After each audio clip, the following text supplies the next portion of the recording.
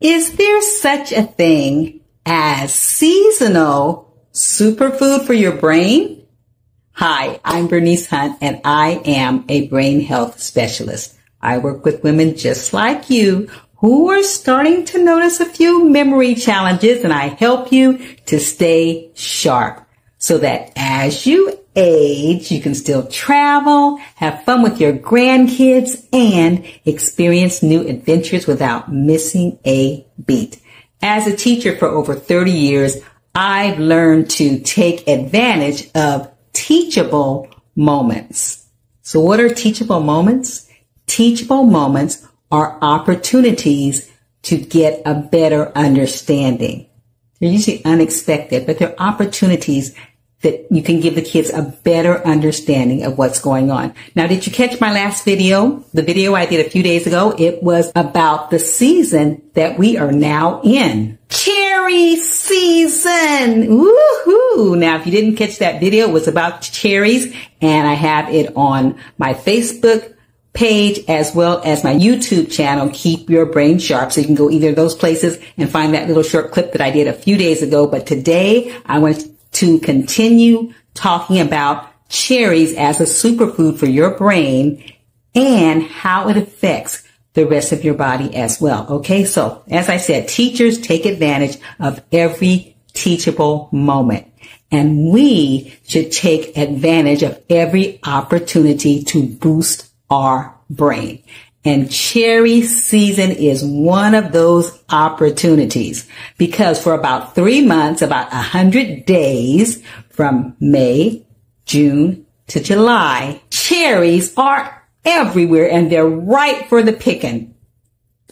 So the bottom line with all that is eat them, eat up during this hundred day period. Okay.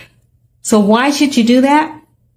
I know. I hear some of you saying, you know, what's so wonderful about this season? Because I can go in the store any time of the year and get frozen cherries and get juice, cherry juice in bottles, get dried cherries. So why, what's the big deal about me taking advantage right now?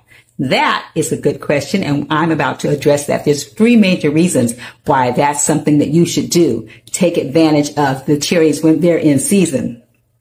Now, the first one has to do with the rule of thumb. There's a rule of thumb where just about all, all the time, fresh is best. So if you can get anything fresh, usually that's what you should do. Get it fresh. Cause, and we know that anything that's found in the stores, frozen, dried, or in juice in bottles has what? Been processed.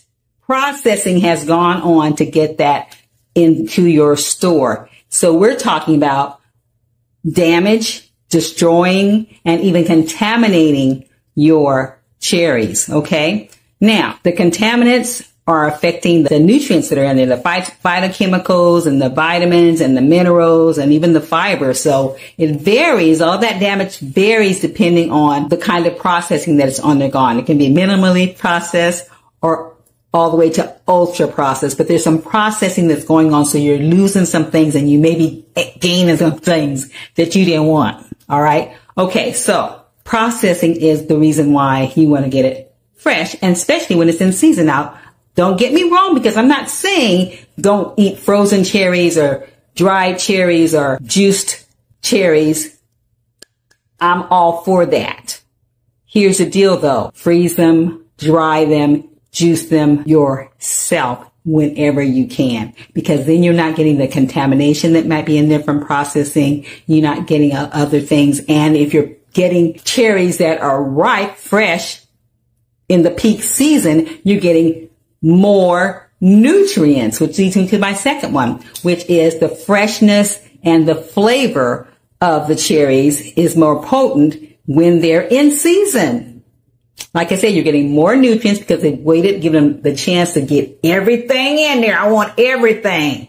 I don't want to be shortchanged nothing. I want everything in there. So you have everything in there, more nutrients and less lectins. Now lectins are those plant poisons. They're protective things the plant does to keep the insects and predators and whatever from eating the cherries and other fruits and vegetables, eating the fruit before the seeds have developed Okay, so that they can continue on and they won't become extinct. They don't, don't eat them too soon. So they have these plant poisons that they naturally produce while the fruit is not ripe.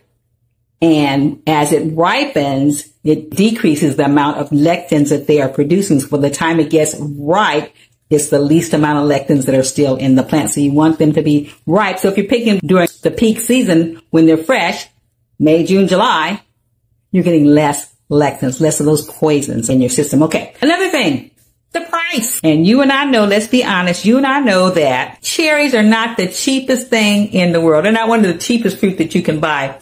So it's very important that you take advantage of their peak season because when things are plentiful, when they're bountiful, right? The price likely will go down. And also cherries bruise easily and they spoil easily. And so the people that are selling them want to get rid of them. And so if people are not buying them um, as readily as they would like them to, guess what they're going to do? They're going to lower the price so that you'll buy them. So that's an opportune time for you to get cherries when they are in their peak season. The other thing we're going to talk about is the benefits, the benefits that you get, especially your brain from eating cherries. Okay. So let's talk first about your brain. So with your brain, it helps you sleep better. It has melatonin in it, naturally produces melatonin. And so you eat cherries, you'll have better sleep, better memory, better blood sugar levels because the skin on the cherries actually has fiber, which is going to help balance